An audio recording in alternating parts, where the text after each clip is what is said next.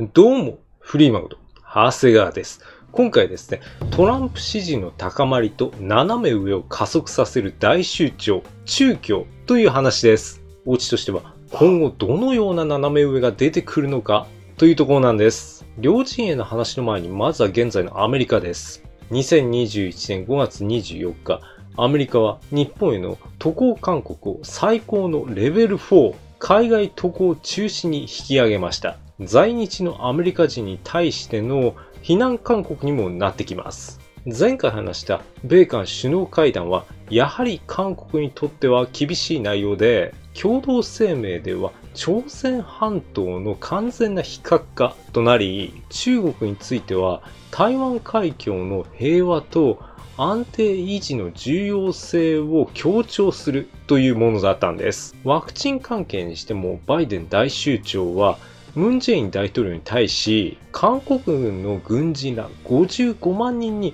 ワクチン提供という表明をしたんですが、これは在韓米軍に対するリスクを減らすためのもので、決して韓国にとっていいことではありません。共同声明がこの内容なので、前回も話した通り、韓国は相当な踏み絵になっているんですが、米韓首脳会談の昼食はクラブケーキと呼ばれるカニ肉やパン粉などから作られるケーキが出されました。しかし、このクラブケーキはスラングでは友達でもないのにいつまでもまとわりついてくるやつという意味だったんです。これは日本では京都におけるお帰りくださいという意味であるブブ漬けを出されるようなものです。そんな素晴らしい歓迎を受けたムン大統領はとても上機嫌で最高の歴訪であり最高の会談だったと大満足。さすがは外交の天才と言われるだけある大人物だと思います。当然、この結果なので中国は韓国に対して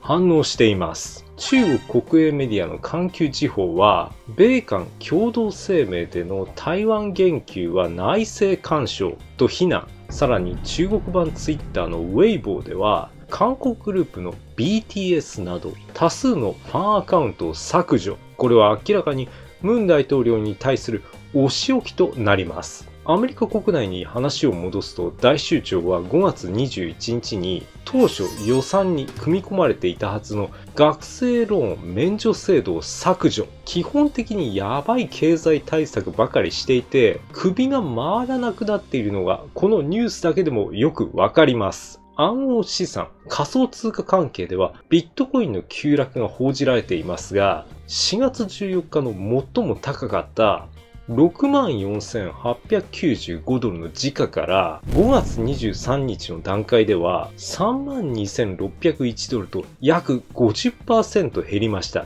そんなビットコインの状況にもかかわらず、最近のアメリカでは化石燃料発電所が閉鎖されている中、ビットコインの投資用に火力発電所を買収する動きが出ているそうなんです。後で話すテスラの経営者、イーロン・マスク氏もこの件で動いています。ここからがトランプ陣営の話です。今回のメイントピックの一つがこれなんですが、2021年5月19日に調査会社のマクラフリンアソシエイツ社が発表した最新の世論調査によると、共和党員の73%がトランプ氏の再出馬を望んでいます。トランプ氏が共和党の大統領予備選に出馬した場合、共和党支持者は82%がトランプ氏を支持し、大統領選では83%が投票すると答えたんです。大州長の好感度に関しては支持53%、不支持46%と不評を買っています。カマラ・ハリス副大州長については支持47%、不支持48%と大州長よりひどいことになっているんです。また、全有権者のうち64%が大州長が任期を終える前に、副大州長が2代目大州長になる可能性が高いと答えています。5月24日、トランプ氏は今後立ち上げる予定のプラットフォームに関する声明を発表。トランプ氏は先ほどの調査結果に触れ、大州長の政策、外交を批判し、プラットフォームは立ち上げていないが、声明を発表するサイトでも、この1ヶ月だけで3670万回のアクセスがあったと述べたんです。ちなみに2020年よりも今の方がサイトへのアクセスが多いそうなんです。その上でプラットフォームの立ち上げはすぐに実現するだろうと締めくくっています。選挙監査関連では5月22日にアリゾナに関して声明を発表。そこではアリゾナ州の司法長官マーク・ブルノビッチは仕事をしていないのでちゃんと仕事をしろと非難。ちなみにアリゾナの監査は5月24日の段階で再開され、28のテーブルで作業が進んでいるとのことです。5月24日にはニューハンプシャー州についてもトランプ氏は声明を出し、ニューハンプシャー州の選挙監査で大型投票機が存在しない票をカウントしていると思われることが判明した。これは正規の犯罪として語り継がれることだろうと述べたんです。そのニューハンプシャー州では折り目がついた投票用紙が票集計機に影響を与えるかどうかのテスト結果が出ました。すると集計結果に大きな誤差が出たんです。テストでは75枚の投票用紙が票集計機にかけられたんですが、実際に記録されたのはたった48票だったんです。また別の表集計器では75枚の用紙のうち全体のわずか28%しか集計されていなかったんです。これにより州全体に影響を及ぼす可能性が出てきました。ジョージア州でもベテランの戦艦委員たちが6件の宣誓供述書を提出。それによると郵便票14万票のうち最大3万票が偽造票だったことが判明したんです。そのジョージア州に関してシドニー・パウエル弁護士は同州の監査を重要視しています。パウエル弁護士はテレグラムでその件について投稿しており、前回話したジョージア州の監査決定の司法判断について話題にしています。このような票監査の状況なので、アリゾナ州では民主党が本気で恐れ始めてきているそうです。5月21日、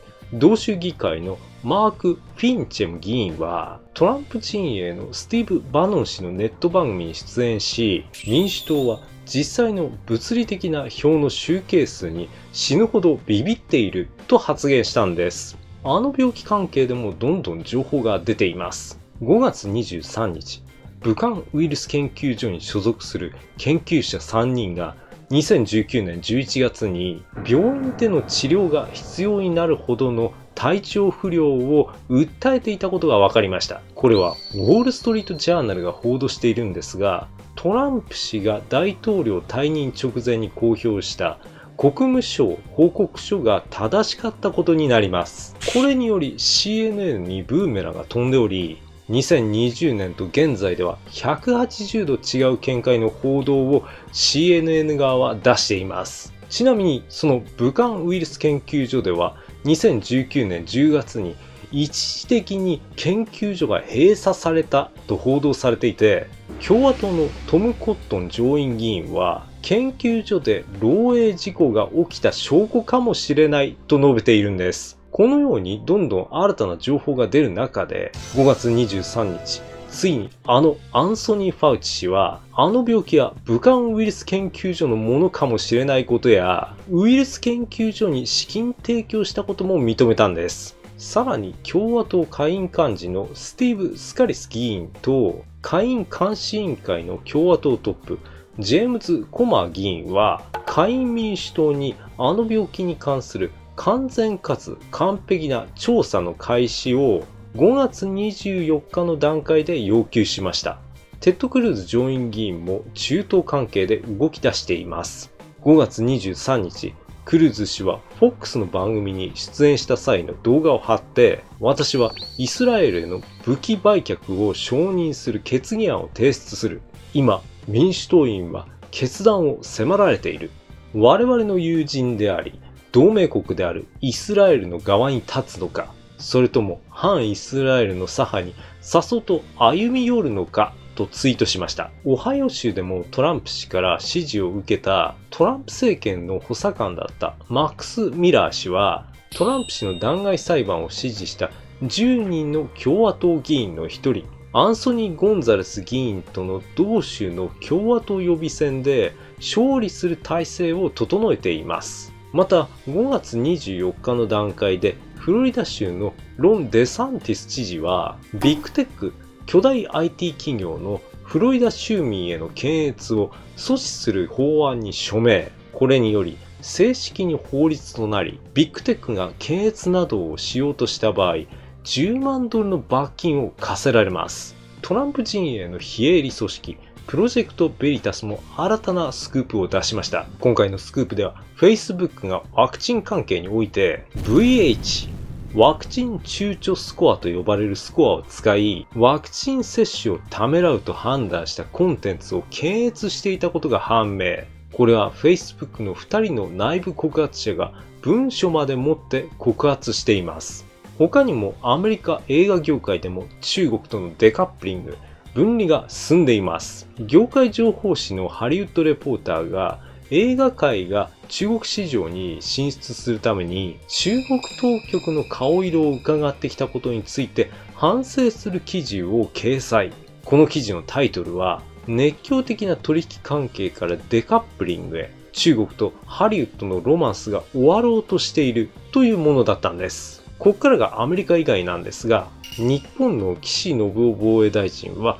5月21日にアメリカ宇宙軍司令官のジェームズ・ディキンソン大将と会談、宇宙空間の利用、確保の重要性について話し、日米間の強固な絆を構築することを確認しました。イギリスでは5月14日にシェフィールド大学が中国の太陽光パネルに関する報告書を発表。この件については概要欄に貼っているプラさんこと小泉進次郎大臣の動画でも話しましたが、同報告書でもウイグルの強制労働に関する話が取り上げられています。これを受けて大衆長の太陽光事業も暗礁に乗り上げました。アメリカと中国の一部メーカーはウイグルの強制労働に関わるサプライヤーを使わないこととしたんです。ちなみにこの件について4月27日にプラさんは記者会見で国際的な動向はチェックしないといけない。脱炭素のためにやらなければいけないこともあるので、そこも考えながら確実に再生可能エネルギーの導入加速を進めたいと述べました。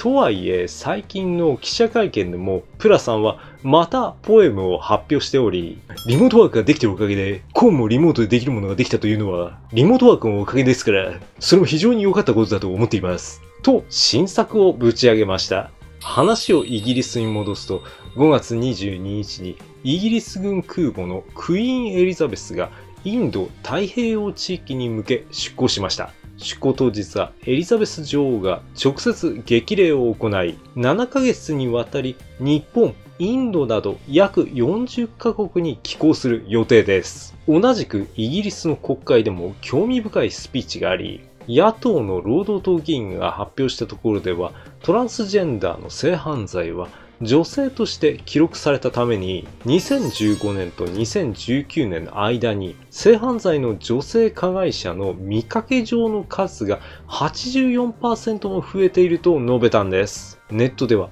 これを予見できないのかなどの反応が出ています。また5月25日の大期限ではイギリス、オーストラリア、ニュージーランド、シンガポール、マレーシアの5カ国が4月5から28日に向けて合同演習を実施。これは50年前に5カ国が締結した軍事同盟の枠組みの一環となります。EU もあの病気関連で中国製のワクチンを打った人物の入国を許可しないことを決定しました。本来、これは日本もやるべきことだと思います。リトアニアについては EU、バルト諸国、中国の経済協定、17プラス1からの撤退を5月22日に表明。世界はどんどん中国からのデカップリングを進めています。ここからがバイデン陣営の話です。大首長はどんどん品種を買っており、カトリックの名門、ノートルダム大学に招待されたんですが、卒業生、OB など4400名が大酋長を呼ぶなという公開書簡に署名。これにより都合がつかないという理由で大酋長は欠席したんです。大酋長はカトリック教徒が意味嫌う中絶を推進するのが、この出来事の大きな理由になっていると思われます。ムン大統領と握手した後にズボンで手を拭いた副大州長もまた炎上しており、この件についてアジアンヘイトだとツイッターで投稿がありました。また、米韓首脳会談にしても、出迎えは大酋長でなく副大酋長が行っているので、これについても批判されています。共和党の裏切り者の一人、ミット・ロムニー議員は議事堂暴動委員会法案の投票で民主党上院リーダーのチャック・シューマー氏が議論するなら法案を支持する投票を行うと述べました。ロムニー議員もだいぶ必死な模様です。共和党のマージョリー・テイラー・グリーン議員との環境に関する議論から逃げている民主党のオカシオ・コルテス議員にしても、1月6日の連邦議事堂暴動以降にセラピーを受けていると述べました。現場にいたコルテス議員にとってはこの件はトラウマだったそうで立ち直るのに時間がかかったとのことですミシガン州の知事であるグレッツェン・ウィットマー氏もやらかしていて同州が定めた社会的距離のガイドラインに違反して6人以下の制限を破り10人で飲食を行いました。これを受け知事は私は人間です。私は人間です。間違いを犯しました。と言い訳をしています。この次の話は日本でも取り上げられていますが、あのビル・ゲイツ氏が子供が大好きなジェフリー・エプスタイン氏に近づいたのは、ゲイツ氏がノーベル賞を取るのにエプスタイン氏の助けが必要だと思ったからだという話が出ています。この両者の関係は2011年から始まっていますが、ノーベル賞を取るためにそうするかと自分は首をかしげます。先ほど触れた暗号資産の話題ですが、中国との関係が深いアメリカの電気自動車会社大手テスラの最高経営者であるイーロン・マスク氏が暗号資産を支持すると5月22日にツイッターで投稿。これによりビットコインなどの価格が上下する一因になっています。その2日後の5月24日に暗号資産のイベントであるコインデスクに登壇した資産家のレイ・ダリオ氏は債券よりビットコインを選ぶと発言し実際にビットコインを保有していることを初めて明らかにしました。ダリオ氏はヘッジファンドを運営しているんですが、このような発言をするというのは暗号資産もそうなんですが、中国のデジタル人民元とも絡んできそうな話なんです。中国との関係がある WHO にしても、台湾の総会へのオブザーバー参加について、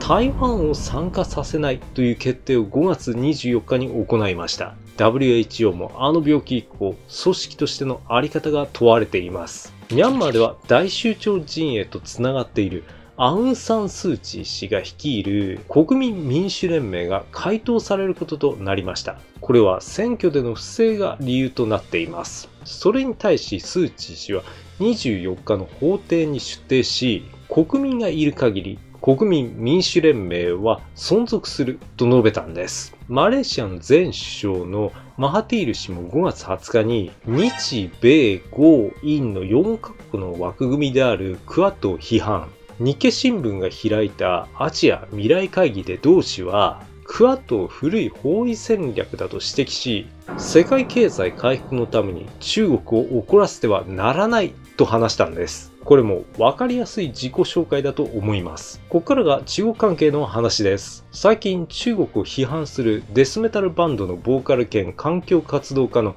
グレタ・トゥーンベリさんに対し、ついに中国も反撃を開始しました。5月14日、中国国営メディアのチャイナデイリーは、グレタさんの大きくなる体を批判し、彼女はベジタリアンと主張しているが、成長状態から察するに、彼女の二酸化炭素排出量は少なくないと表明。それに対し、グレタさんはツイッターで、中国国営メディアから太っていると恥ずかしめられたことは、私の基準から見てもかなり奇妙な体験。私の履歴書に必ず書きますと反論。両者は一体何のために戦っているんでしょうか？アメリカからどんどん切られている中国通信機器大手のファーウェイも5月24日の段階でハードウェア事業が行き詰まったためにソフトウェアで挽回しようと社内向けのメモで呼びかけました。この状況を見るだけでも外にファーウェイは厳しい状況です。様々な気候の変化が起きている中国では、5月22日に100キロのクロスカントリーマラソン大会が行われました。その最中、天候が急変し、氷や雨、強風に見舞われ、参加者172人中21人が亡くなりました。ちなみにこの件で1200人の捜索隊も出ています。先ほど触れたテスラにしても中国は最近テスラの自動車データを中国に保存するようになったんです。前回話したアップルの件もそうですが、これもなんだかなと思うところです。その中国や日本も参加する自由貿易協定、RCEP にしても中国は RCEP に合わせて遺伝子組み換え食品企業に資金投入して RCEP 加盟国にその食品を売ろうとしている模様です。これも食の安全上どうかと思う話です。最近中国に対して警戒を強めるオーストラリアに対し環球時報がオーストラリアに警告を発しました。環球時報曰く、オーストラリア軍は弱く取るに足らないとしており、日米仏豪の軍事演習を終えた後にこの報道をしています。これも後々中国にブーメランが飛んできそうな案件です。さらに中国はモンゴルに対してもビットコインの取り締まりを開始、ネットカフェなどを取り締まることも含んでいます。また中国外交トップの楊潔チ氏も5月23日の段階でロシアに向かい上級大将で政治家のニコライ・パトルシェフ氏と会談。両国で今後のアメリカに対する戦略を話し合った模様です。アフリカにバンバンお金を貸しまくっている中国は軍事基地のみならずケニアにも新たな政府施設を建設していました。こうやってどんどんアフリカにおける中国の支配を強めるつもりなんでしょう。さらに中国は5月22日の段階で火星探査車の祝友が火星におり探査を開始。中国は宇宙にも進出し始めていますが、この調査もその一環です。ただ経済面ではやはり不安があり、5月24日の中国株式市場では自動車銘柄が下落。ファーウェイが自動車企業に投資しないと発表したことで株価の下落が起きました。とはいえ、電気自動車関係で日本の佐川急便は中国の電気自動車企業と連携しており、商社の双日が絡んで、佐川に2030年までに軽自動車約7000台を電気自動車に置き換える予定です。最後にご紹介するのは金融関係です。中国の中央銀行、中央人民銀行の本店近くに国有企業資産管理会社の中国下遊資産管理のビルが入っています。この企業、最近になって中国共産党委員会書記を務める王仙宝氏が会長となりました。カユは前会長の時代に約410億ドルの債務を借りていますが、その返済期間が2021年8月末です。それをどう返すかが未だに決まっておらず、中共側も返答がない状態です。カユが破綻した場合、多少なりとも中国経済に影響が出るでしょうから、果たして中共はどうするんでしょうかここまでが現状ですが、どんどん大集長、中共の恐ろしい話が表に出てきています。おそらくまだまだやばい話はたくさん出てくると自分は予想していますが、今後どのような斜め上が出てくるんでしょうか最後までご覧いただきありがとうございました。自分のこのチャンネルは経済、外交、福祉などの問題を取り上げて現状よりもどうすれば良くなるかについて話しています。もしよろしければチャンネル登録、それからグッドボタンを押していただければ幸いでございます。またお会いいたしましょう。